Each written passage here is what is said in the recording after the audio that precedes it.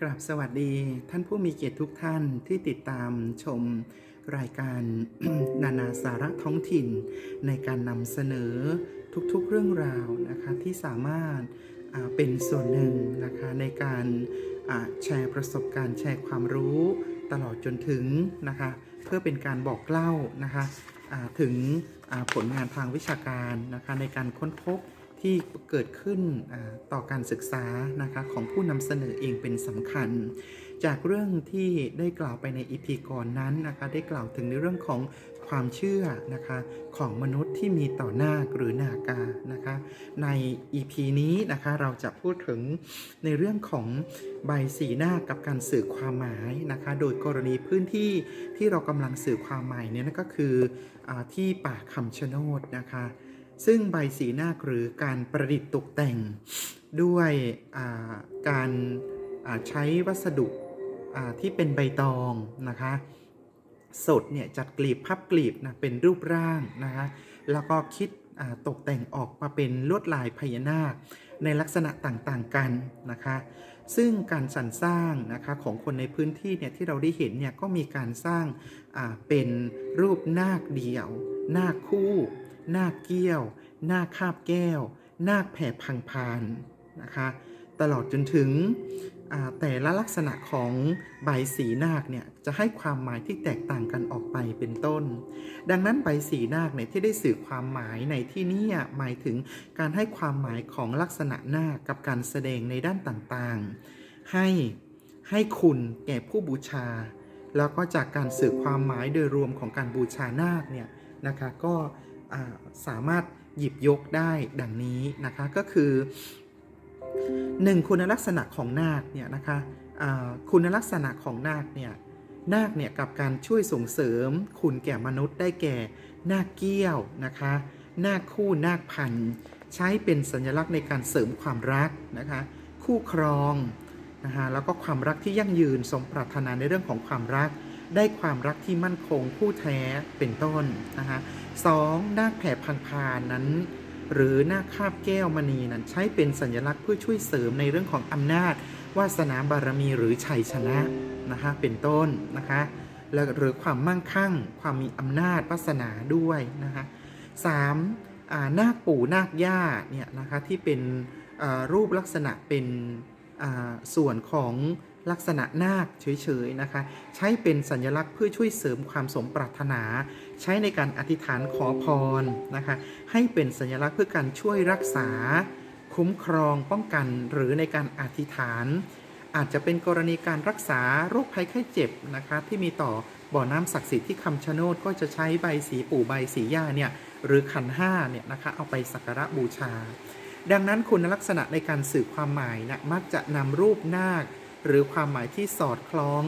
กันมาสื่อ หรือการให้ความหมายเพื่อให้ดูเหมาะสมนั่นเองนะคะ มาต่อนะคะอ่าก็คือในลักษณะของการสื่อความหมายนะมักจะนำรูปอ่าหรือสัญลักษณ์ของนาคเนี่ยนะคะเพื่อสื่อความหมายแล้วก็ให้ความหมายเนี่ยที่สอดคล้องกัน แล้วก็เพื่อที่จะสื่อความหมายเนี่ยออกมานะคะ เพื่อให้ดูเหมาะสมกับตัวตนและคุณลักษณะของนาคด้วย ทั้งนี้การให้ความหมายที่ได้จากการสื่อสารสื่อความหมายเนี่ยเป็นการเพิ่มพลังทางบวกนะคะเพื่อให้มนุษย์เนี่ยที่ได้นำมาบูชานี่ยก็เกิดพลังภายใน เกิดพลังบวกภายในเกิดขึ้นนะคะโดยผ่านสัญลักษณ์ของนาคอย่างเงี้ยอย่างเช่นนาคคาบแก้วนะคะ แก้วเนี่ยอัญมณีเนี่ยหรือแก้วสารพัดนึงหรือแก้วศักดิ์สิทธิ์เนี่ย ถือว่านาคที่มีแก้วอยู่กับตัวเนี่ยถือว่าเป็นพญานาคนะคะที่สามารถเนรมิตให้ตัวเองเป็นมนุษย์ก็ได้ หรือทรัพย์สมบัติหรือป้องกันเหตุเพศภัยต่างๆได้นะคะ ซึ่งถือว่าลูกแก้วนะที่พญานาคเนี่ยสามารถถือครองได้เนี่ยจะต้องบำเพ็ญตบะมานานนับเป็นพันปีทีเดียวนะคะ จึงจะต้องมีลูกแก้วเป็นของตัวเองนะคะ แล้วก็ฉะนั้น กับการสื่อความหมายของคำอของมนุษย์ที่มองมาเนี่ยก็คืออลูกแก้วเนี่ยสามารถเนรมิตเรื่องที่ไม่ดีให้กลายเป็นเรื่องที่ดีได้ ดังนั้นมนุษย์เนี่ยที่เวลาบูชาลูกแก้ว หรือว่าหน้าคาบแก้วเนี่ยนะคะก็มักจะมีความเชื่อว่าเมื่อสวมใส่หรือว่าเมื่อได้ครอบครอง หรือว่าเมื่อได้จับต้องแล้วนะคะ ก็ย่อมเกิดนะคะย่อมเกิดเรียกว่าเกิดพลังทางบวกในเรื่องของความ มีอำนาจวาสนาบารมีความมั่นคงอะไรในลักษณะอย่างนี้นะคะอานาคเนี่ยนะคะพลังทางบวกเนี่ยในการบูชานาคเนี่ยเพื่อให้ทราบถึงความต้องการของอมนุษย์เนี่ยสำคัญอย่างยิ่งนะคะดังนั้นนาคกำไรเนี่ยหรืออาจจะกล่าวถึงนาคกำไรเนี่ยนะคะเป็นสัญลักษณ์ในการให้ผลในเรื่องของกำไรงามทำมาค้าขายได้กำไร มีชีวิตที่ไม่ขาดทุน มีการประกอบอาชีพทุกอย่างนะคะ ร่ำรวยราบรื่นนะคะ คล่องแคล่วนะคะ โดยคุณลักษณะของหน้ากำไรนี้ ถ้ามีการหันหน้าเข้าหากันก็สามารถอัดตีความหมายได้ว่า มองหน้ารู้ใจ มีใจเป็นหนึ่ง ร่วมสุขร่วมทุกข์ได้ด้วย และน่าจะมีการอธิบายให้ความหมายที่ชัดเจนมากขึ้นอย่างเช่นนาคที่หันหัวเข้ากันนะคะ อาจจะเป็นในเรื่องของ การพบรักนะคะการใช้ในเรื่องของการสื่อรักแล้วก็การงานนะคะเจอนี้มิตหมายที่ดีในลักษณะอย่างนี้หรือว่ามีคู่ที่มั่นคงแบบนี้เป็นต้นนะคะฉะนั้นการให้ความหมายนะคะหรือการแสดงออกมาซึ่งสัญลักษณ์ของนาคเนี่ยกับการมาพัฒนามาเป็นใบสีเนี่ยจึงเป็นส่วนหนึ่งในการที่ใช้ประกอบในการบูชานาคเนี่ยจึงถือว่า รูปแบบการบูชานาคหรือพิธีกรรมบูชานาคของคำชะโนดที่จัดขึ้น แล้วก็มีความดังไปทั่ว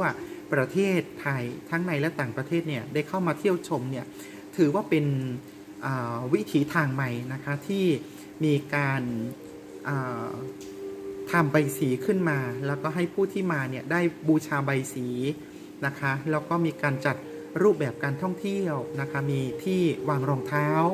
ถูกสุขลักษณะ